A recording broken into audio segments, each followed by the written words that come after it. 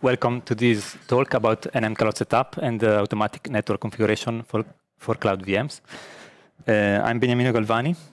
Uh, I work as a software engineer at Red Hat, and I work in the network management team, which is the team developing Network Manager, NM State, and the network role for Ansible. Before starting, let me do a couple of announcements announcements. There will be a Network Manager community meetup at 2 p.m. in the room A112. Uh, feel free to attend if you want to discuss any topic related to Network Manager, if you want to share ideas, problems that you have, or just to listen. Uh, and there are stickers, so at the end of the talk, you can grab them.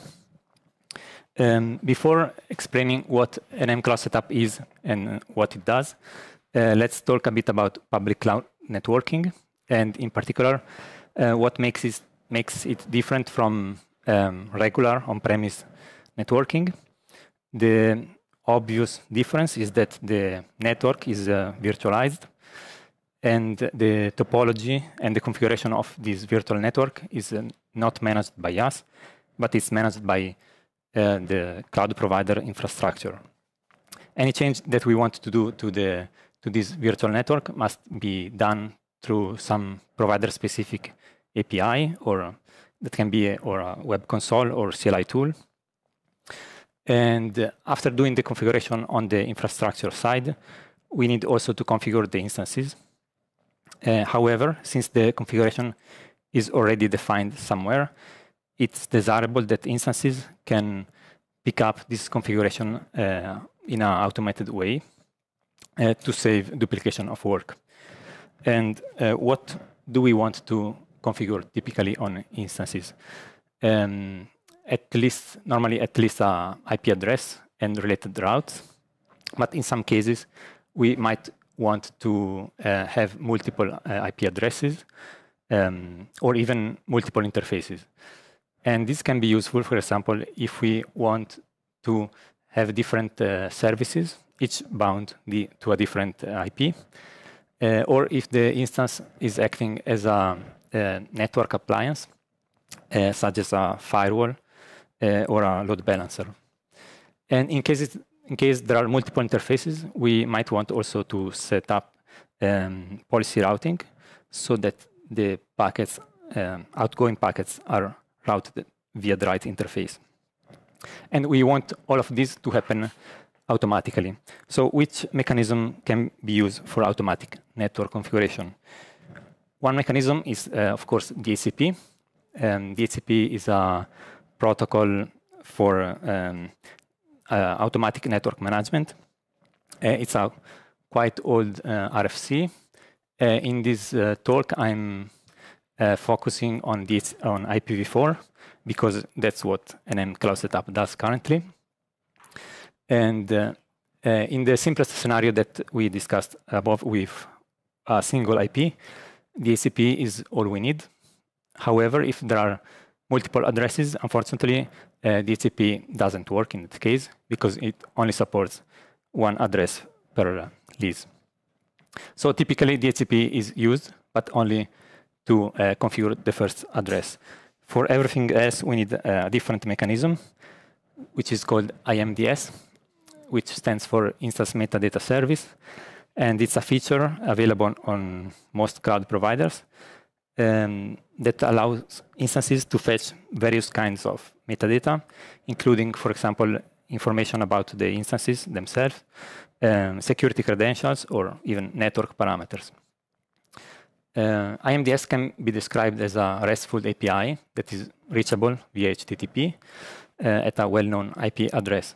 And differently from DHCP, it's not a protocol with a specification, but it's a more it's more of a, a general mechanism. So with DHCP, you can have a client; it works everywhere, um, but uh, IMDS works differently in different providers. And you might have noticed that there is a problem with uh, IMDS uh, there's a bit of a chicken and egg problem because uh, IMDS tries to fetch network configuration over the network. So the network must be already configured. Um, however, in practice, that is not a problem because, as I said uh, before, initially we do DHCP, and then for everything that is not covered, we do IMDS. So let's talk now about NM Cloud Setup. Uh, it's a service for automatic network configuration of uh, instances. It supports the major cloud providers, uh, including AWS, GCP, Azure, and Alibaba. Um, as the name suggests, it's uh, developed as part of the Network Manager project. Uh, network Manager, if you don't know, it's a, a network configuration service that is uh, available on many Linux distributions. Uh, NM Cloud Setup is already enabled on uh, some cloud images. For example, if you start a RHEL instance on AWS, NM Cloud Setup is already active there. And speaking about the implementation part, uh, it's written in C using glib, the GNOME library, and libnm, which is a library to talk to NM uh, via dbus. How it works? Uh, NM Cloud Setup periodically fetches the information from the IMDS and then talks to Network Manager via dbus to set the runtime configuration of interfaces. And while doing so, it also preserves existing parameters set by users, such as additional IP addresses and routes. And since there is no um, asynchronous notification mechanism from the IMDS, that means that uh, every change in the metadata, uh, to detect a change in the metadata, we need to poll. Uh, and for these reasons, for this reason, NM Cloud Setup doesn't need need, need to run as a daemon, but instead it's a um, one-shot configuration tool, and it's restarted periodically by a systemd timer. This diagram um, illustrates what happens uh, when an uh, instance boots with Network Manager and then uh, NM Cloud Setup. Initially, there is DHCP from NM to get the IP address, and then um, NM Cloud Setup starts and contacts the IMDS to fetch the network metadata. After that, for each interface in, um, device that is described in the metadata, uh, it asks Network Manager what is the current configuration of the interface. And then it does a merge of the configuration um, with the metadata to produce a new configuration. This new configuration then is applied to Network Manager.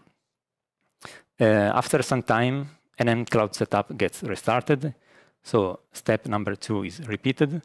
And if necessary, also steps three and four. Uh, this slide shows uh, what are the requests done by NM Cloud Setup in uh, AWS.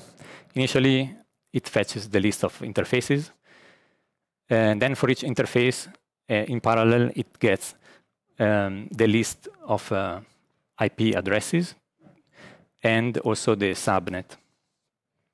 And then those parameters are sent to Network Manager. In this case, uh, since there are multiple interfaces, uh, NM Cloud Setup also sets up um, policy routing. Uh, if this is our instance, we have two interfaces. Each has a IP address. And the routing table looks like this. We have two default routes. So if we get a request for the first address, um, and we send uh, the machine uh, sends a reply, it will match the first default route. And so the reply will go out of ETH0. Uh, if we get a request for the second address, um, the reply will also match the first default route. And so the packet we will still go out of ETH0. And this is usually not we, what we want. So NM Cloud Setup um, creates uh, a couple of um, routing rules. And each routing rule selects a different routing table uh, based on the source address of the outgoing packet. And in this way, ah, and sorry, and then um, each routing table contains a default um, a default route via the right interface. So in this case, we get uh, the symmetric routing that we want. Um, so there are other existing tools doing a similar job. Those are, for example, uh, EC2net utils for AWS or guest agent for GCP. Uh, they are provider-specific tools. And one problem with those is that they apply the configuration directly in kernel. So if you're using Network Manager, that's a problem because Network Manager is not aware of the changes done by those tool, uh, tools, and so it can over, overwrite them at any moment. And we have also Cloud Init, which is a first boot uh, configuration management tool, uh, which does a lot of things um, besides networking. However, it's not meant for runtime reconfiguration. So what are the advantages of NM Cloud Setup over those? Um, it fully integrates with Network Manager, so there are no conflicts on who is managing every interface. And also there are some aspects of networking that must be managed in a centralized way. For example, routing, in case you have routing rules, um, or DNS.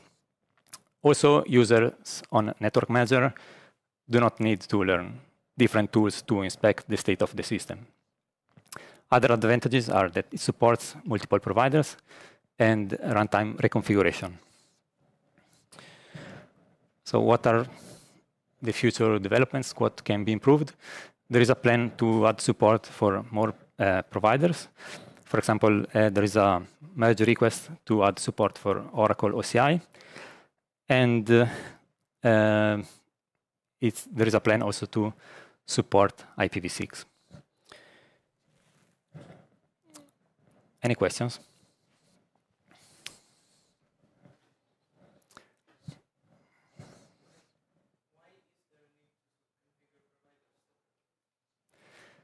Uh, so the question is why there is the need to configure each provider separately. Uh, as I said, IMDS is different, works in different ways for different providers. Uh, so the API is different. Uh, so there is no way to develop a tool that works in the same way on different providers. You need to implement a backend for each provider because the API is different. On AWS, GCP, they do have different features, different uh, structure of the API.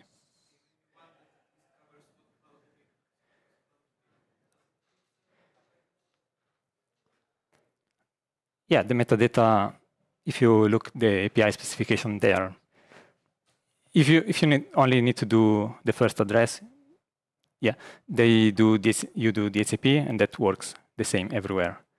But to get, for example, additional addresses, um, or on some providers, you can set up, for example, um, secondary NICs that uh, works differently in different places.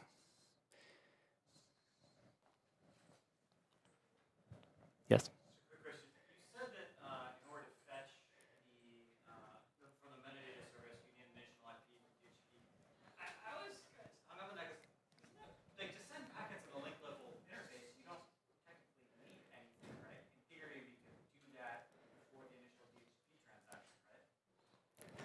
Okay, so the question is there. Uh, I said I said that um, to get to do IMDS, we need to, to do DHCP first. But in theory, we wouldn't need that because we could send packets over the link local interface. Yes, but to do HTTP, you need an address. I mean, uh, IMDS works over HTTP, so you need to, to do TCP, so you need a configured. Um, or did you mean you, we need a link local address? IP? Yeah, that's possible. Um, but it works in this way in providers.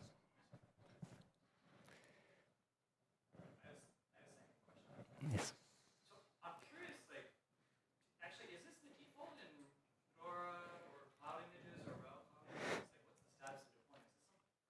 Yes, uh, uh, I know that. Um, ah, the, is this the default uh, on uh, cloud images, Fedora, RHEL, or what? Uh, I know that on some RHEL images, it's enabled by default. Uh, I'm not sure about Fedora or if it's or other providers. I know that it works on AWS, it's enabled. We are out of time. Thanks for attending.